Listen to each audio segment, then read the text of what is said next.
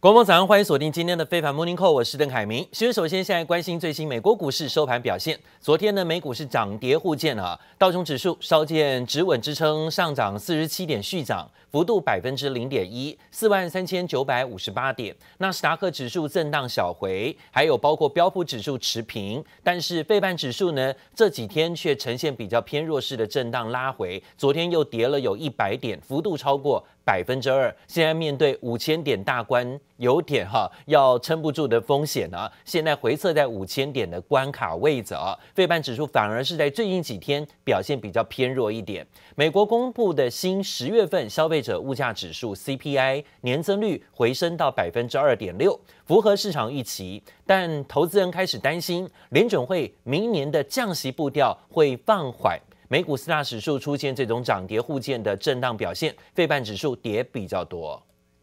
We had the CPI come out this morning, and, and, initially the bond market was bought up, but now it's starting to sell off a little bit. So there's a this little uneasy feeling, even though stocks are up, even though the major averages are up. I think there's still that little bit of uneasiness that hey, look, inflation is here to stay with us, and some of these policies that may be coming from the Trump administration could even be a little more inflationary 最新消息的部分是在说，IC 设计的公司超维，超维证实要进行全球裁员。为什么现在不是黑灰辉达还有 AI 这些商业行业这么好，但超维居然说要裁员呢？而且还冲击到了股价，下跌了百分之三啊！他是说呢，要进行这个人员当中的重组，而且呢要精简。那另外呢，就是伺服器大厂美超维，美超维到现在还找不到新的会计事务所接手它的财报，先前延后提交年报之后，最新宣布又要延迟提交最新的季报了，导致了美超维股价在昨天又重跌了超过百分之六，所以昨天美超维跌，超维跌，那包括台积电 ADR 也跌，还包括了像是美光、字母、辉达等等的。费半指数的概念股大多走低，所以导致了费半指数昨天是跌超过有百分之二的幅度。那其中呢，美超维的跌幅哦，在短短过去一个月已经蒸发掉了将近有跌百分之五十的幅度了啊。那延迟了上一季的财报报告文件之后，美超维昨天又说需要花更多时间挑选。聘请新任的会计师，管理层也需要更多时间来完成啊年度的财报内部的控管评估报告，所以呢会延后提交七到九月份的季报，所以季报又交不出来，真的是财报再度迟到，导致了美超威股价中场大跌百分之六以上。美国司法部也传出正在调查美超维的会计行为。美超维在延后递交六月底的去年度财报年报之后，现在必须在十六号之前上传完成。十六号，也就是啊，在这几天周末之前要传递向上啊。那如果现在又交不出来，恐怕呢会真的面对啊重整甚至下市的风险压力啊。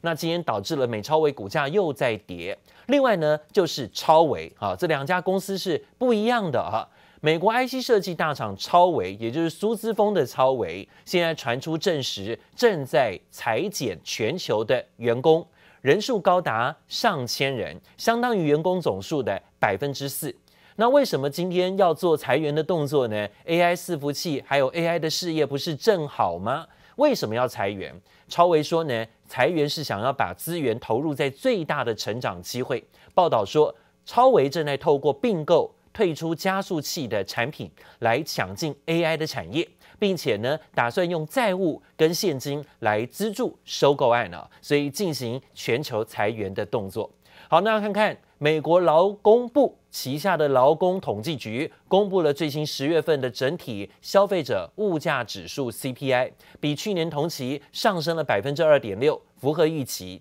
比九月呢百分之二点四稍微的提升一点，那当然比九月上升了百分之零点二。那九月份的 CPI 月升幅度也是百分之零点二，十月份 CPI 物价指数年升幅度一如预期的稍稍扩大。这是今年三月以来首次的通膨反扑啊！这显示呢，对抗通膨的进展真的有一点点趋缓哦，代表说通膨有死灰复燃。目前啊，市场还是预期联准会十二月份的降息一码几率还是很高。但是呢，经济学家认为这个物价的结果会导致明年明年的联准会会放缓升息的次数啊。而根据呢费德 Watch 最新的工具显示说，十二月份降息一码的几率还是有达到百分之五十八点七，但百分之五十八点七不见得一定会降息哦，代表还没有超过七成以上的几率降息，可能降息的几率呢就没有想象中的真的一定妥当。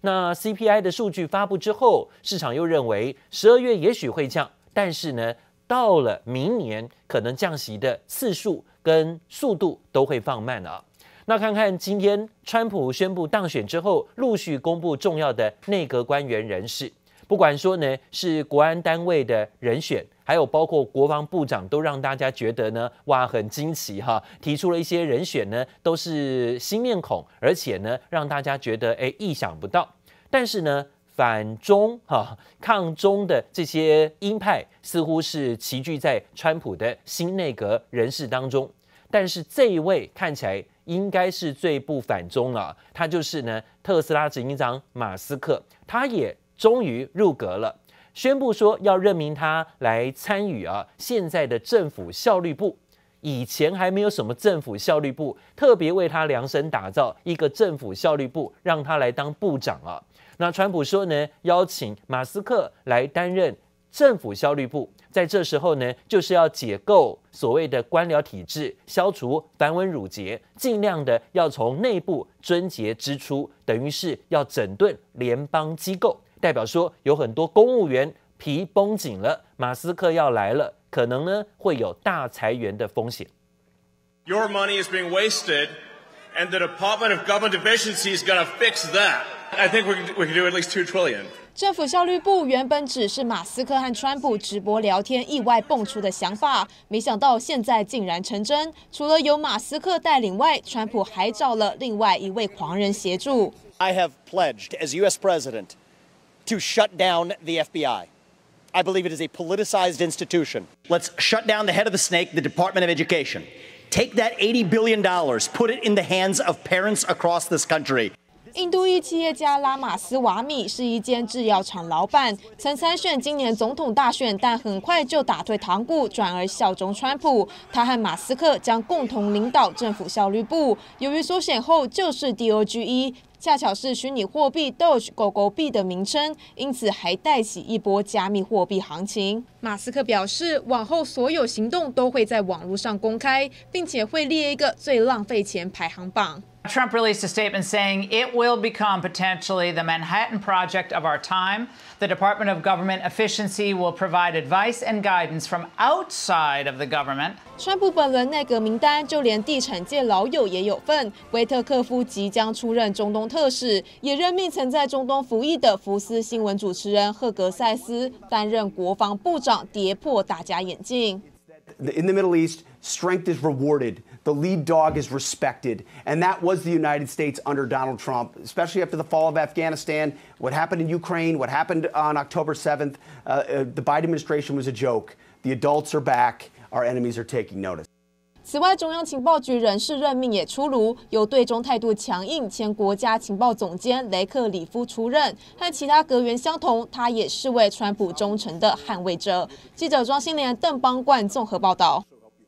好，内阁成员一一到位了啊，所以呢，推进了政权的交接转移。今天看到这个画面，这个画面呢，又是历史性的一刻。美国的准总统川普已经受邀到了白宫啊，现在呢，跟现任总统拜登见面。之前四年前做了政权转移，四年后也在转移，又交回给了川普手上。现在白宫的新主人是川普。今天看到双方呢是在镜头之前握手致意。报道说这场会面是由拜登率先向川普表示欢迎回来，川普也回应感谢。白宫发言人说，除了讨论交接事项。拜登也向川普强调了支援乌克兰跟北约的重要性，希望川普上任之后能够继续维持对外军援。另外一方面呢，是拜登卸任之前跟中国领导人习近平的最后一次拜席会，传出有可能是在这个礼拜秘鲁登场的 APEC 高峰会进行面对面的交谈，预料拜登将重申和平重要性，并且针对中国对美国的网络攻击提出警告。拜习三会敲定，应该就在本周六要正式登场。而美国前总统川普要重返白宫，被视为川普关税操盘手的莱海泽持续的投入上任前一百天的经贸政策行动。目前呢，他也正向美国国会议员发出游说文件，推广新的关税计划。其中呢，可能会对所有进入美国的货品高增百分之二十的关税，并且呢，可能会针对中国进口的商品课征高达至少百分之六十起跳的关税。相关计划在未来几周内会正式公开，可能也会引爆新一波震撼全球的关税人风暴啊！那当然也看到了关税冲击的压力，会不会也打到台湾呢？半导体的供应链盛传，台积电的亚利桑那州厂啊，第一座的晶圆厂，本来呢在十二月六号要举行完工典礼的，这个时候呢还是拜登的执政，所以拜登一定是座上嘉宾。但是呢，本来说要举行的完工典礼，突然传出一周之内情势反转。有供应链业者透露说，台积电本来啊通知的受邀贵宾，最近也有收到通知说完工典礼要暂缓啊，这个通知受邀的贵宾要延后再到美国去啊，或是延后参加典礼。传出这个延后时间会延后到一月份。一月份就是川普要上任的时间啊，所以呢，真的是做足了面子给川普。到时候呢，一月份如果是真正一月延到这个完工典礼登场，那就是川普登基的时候啊，代表说呢，会给川普做大足够的面子，说你就是在登基之后入主白宫之后，我第一个邀请你来当我大位上的典礼啊贵宾。这当当然是看得出来，现在哈很明显的这个气氛跟氛围，好不容易地缘政治风险缓和下来的台积电，现在呢又要政治一点了。四年之后，面对了美国的改朝换代，对对手现在的剧本又得重新写，再度进入到了警备。战备的状态啊，所以传出十二月的完工典礼突然喊卡，有人说呢，这其中政治运作还有背后深藏的政治玄机是相当明显的，要等的是川普的正式就任之后才举行完工典礼，把面子做给川普啊。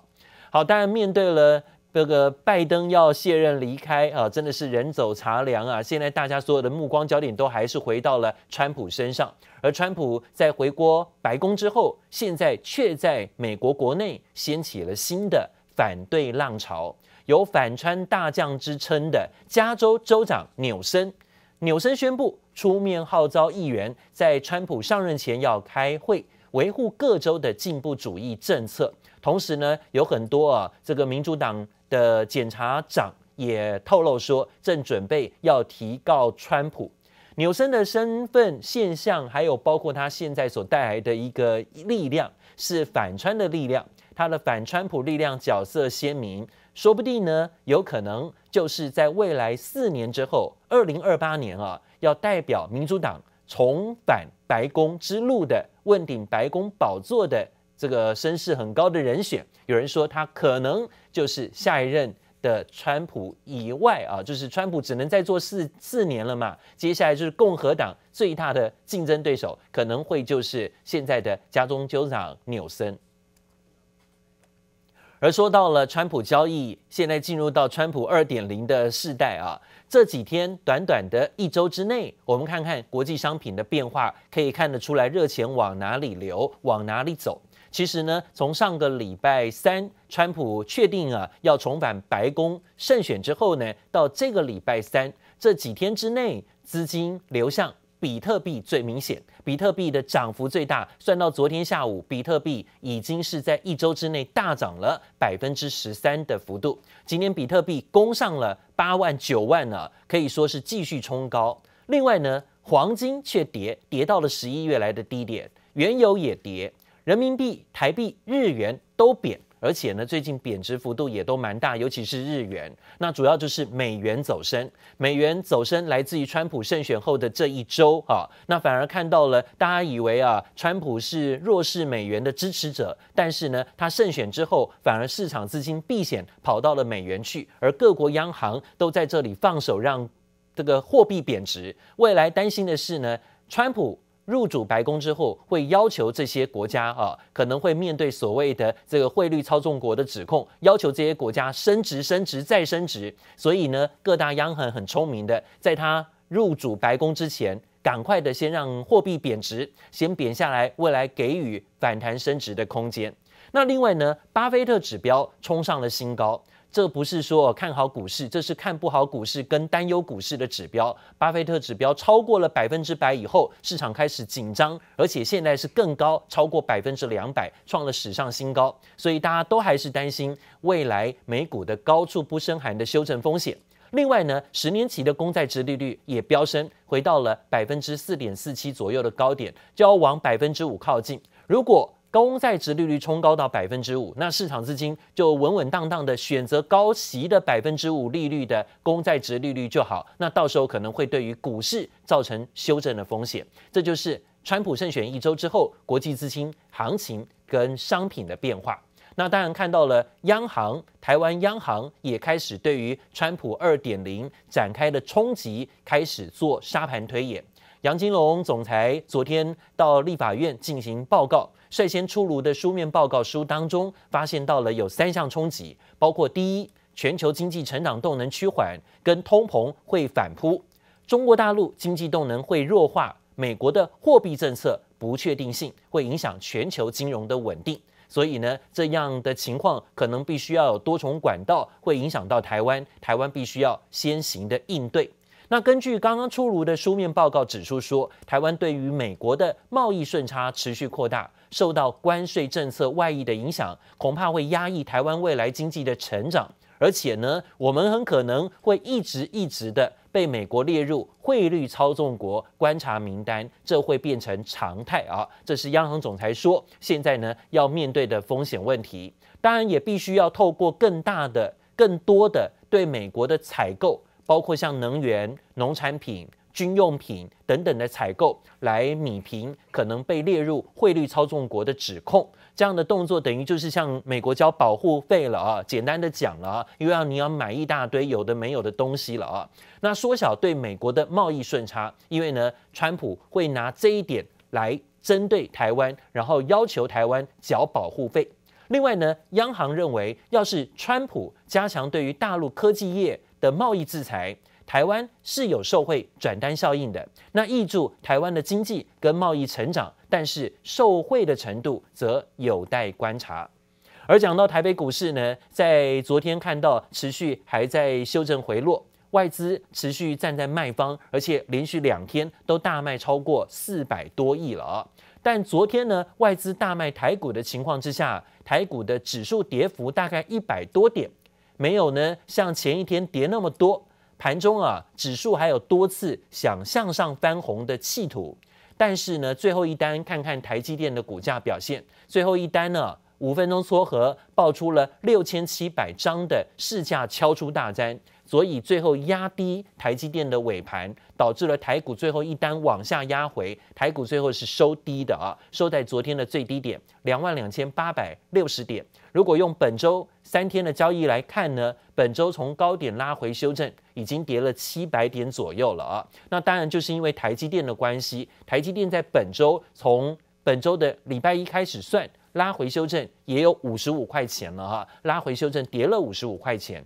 有人说这就是川普风险所造成的冲击压力，因为呢，美国的晶片禁令啊，要求七纳米以下的制程不准卖给中国大陆，所以呢，至少影响的程度大概有百分之五到百分之八的台积电营收。这几天震荡回测，导致了台股修正压回。